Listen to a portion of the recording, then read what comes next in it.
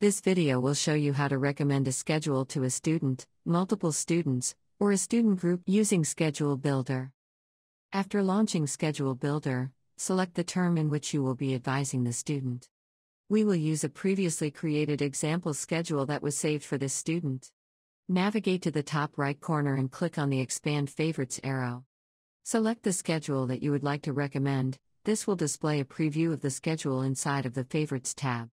Click on the Load button to edit this saved favorite.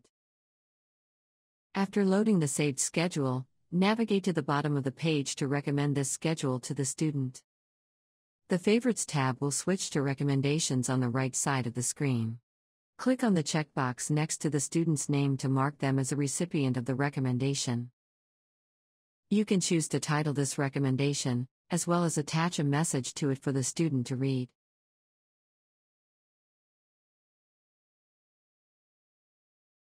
The mandatory checkbox requires the student to view the recommendation before they are able to use Schedule Builder, however, they can still choose to enroll in other classes after viewing the recommended schedule. In certain cases, you may want to lock a particular class or classes that the student will be required to take.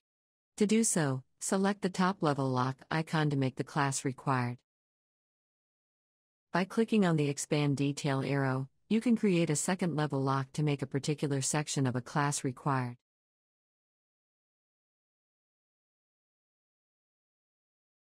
The Permit Additional Courses checkbox can be used to allow students to add additional classes to their schedule on top of their recommendations. If the setting is disabled, the student will only be able to enroll in the classes shown. Adding tags can be used as an easy way to quickly search for your previously sent recommendations. When the recommendation is complete, click on the Save button. The classes have now been recommended to the student. If we navigate to the Start Over button on the main menu, we can preview how the recommendation will be displayed to the student. Since we did not make our recommendation mandatory, the student will have the option to view or skip it. You can also send recommendations to multiple students and student groups.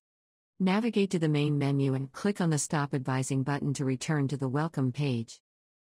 Select the term in which you will be advising for. We will use the same example recommendation by navigating to our Saved tab.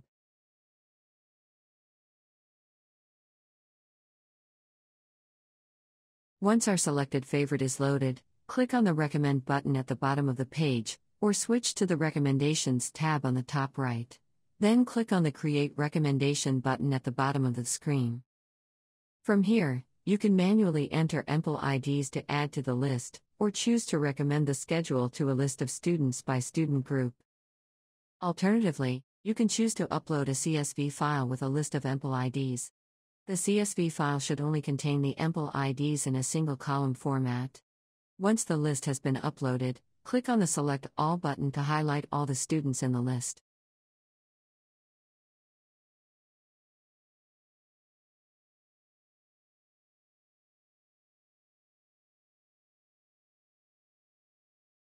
After saving, all those selected in the list will receive the recommended schedule.